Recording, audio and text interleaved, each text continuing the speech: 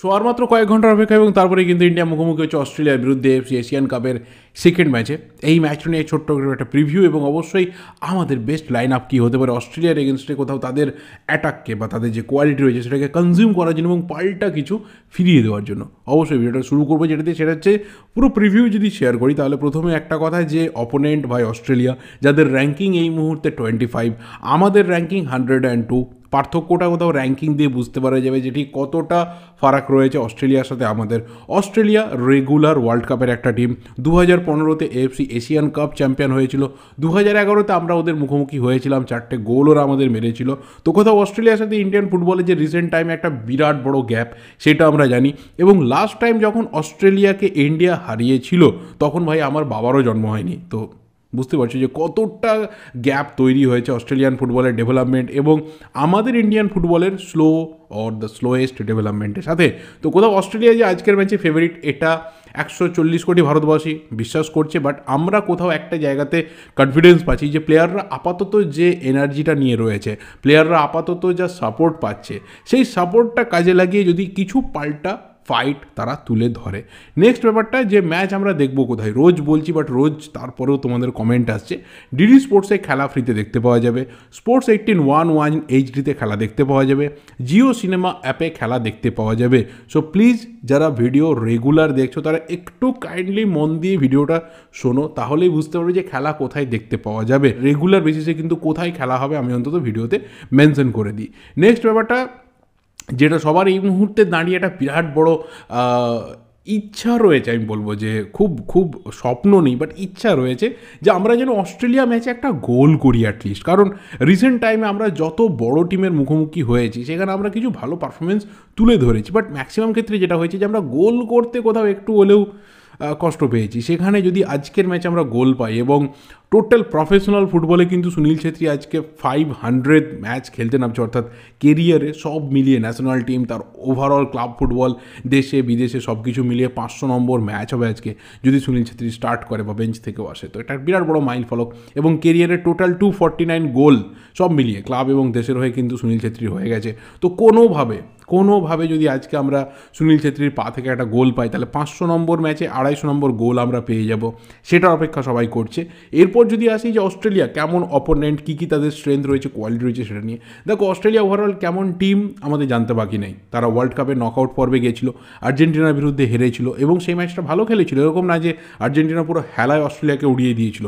যথেষ্ট ভালো খেলেছিল এবং তাদের মধ্যে কোয়ালিটি টপ লেভেলে রয়েছে। এশিয়ান যে কটা কান্ট্রিকে আমরা টপ ফাইভে ধরি, তার মধ্যে অবভিয়াসলি অস্ট্রেলিয়া রয়েছে র্যাঙ্কিংয়ের ভিত্তিতে রয়েছে কোয়ালিটির ভিত্তিতে রয়েছে এবং এইবারেও এশিয়ান কাপ দু হাজার তেইশে কিন্তু তারা one of the favourites to win the title এবং অস্ট্রেলিয়ার যেগুলো প্লাস পয়েন্ট রয়েছে সেটা হচ্ছে সবথেকে বড় ওদের ডিফেন্স লাইন ওই ফিজিক্যাল এবিলিটি বলো কোয়ালিটি বলো এরিয়াল বলো, দক্ষতা বলো, এবং অবশ্যই ট্যাকলিং বলো। হাইফাই লেভেলে কোয়ালিটি রয়েছে এবং কোথাও আমাদের ইন্ডিয়ান ফরওয়ার্ড যারা একটু হলেও ফিজিক্যাল দিক থেকে একটু উইক ওদের তুলনায় এবং অবশ্যই স্কিল বলো বা কোয়ালিটি বলো সেদিক থেকে তো মানতেই হবে, এটা অ্যাকসেপ্ট করতেই হবে, কোনো উপায় নেই। আমরা একটু উইক রয়েছে বাট স্টিল যদি কাউন্টার অ্যাটাকেও আমরা কিছু করতে পারি, সেই আশাটা রয়েছে।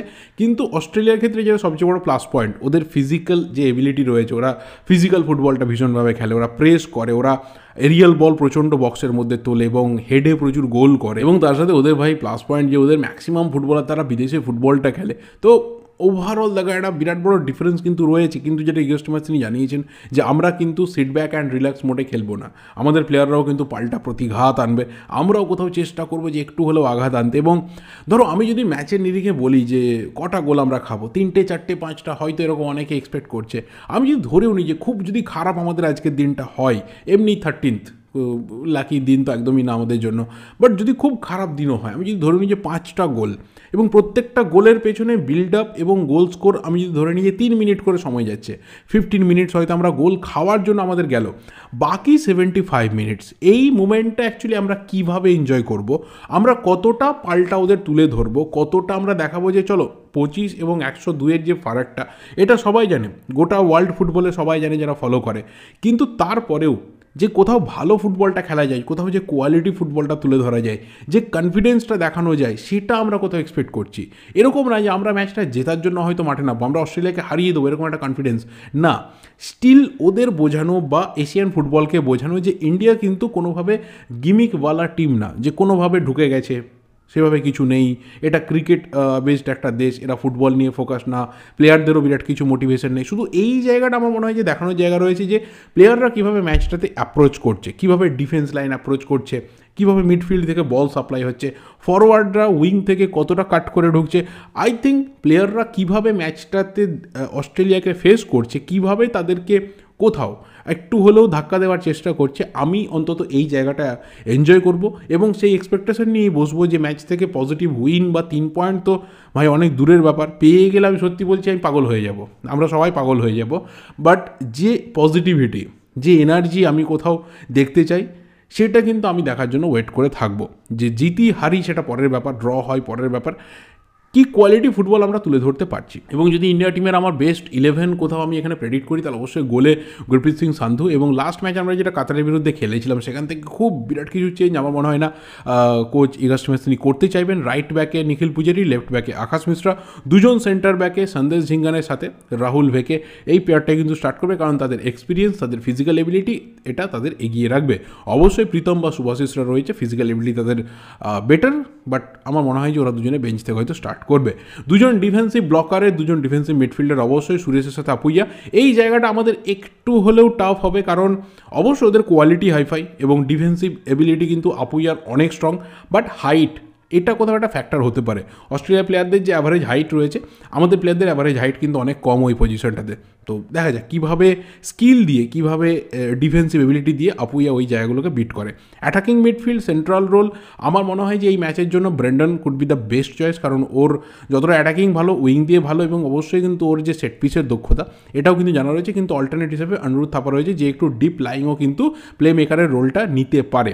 তো এই জায়গাতে ব্রেন্ডন না থাপা কে স্টার্ট করে, সেটাও কিন্তু দেখার বিষয় হবে। লেফট উইংয়ে মাহেশ রাইট উইংয়ে ছাংতে এবং centre ফরওয়ার্ডে obviously the captain leader legend Sunil Chhetri. Right উইংয়ে কিন্তু মনবীরের মতো অপশন রয়েছে, যার ফিজিক্যাল এবিলিটি খুব ভালো রানটা খুব ভালো এবং ডিফেন্সিভলিও টিমকে কিন্তু হেল্প করে, যেটা ছাংতে খুব বেশি করতে পারে না।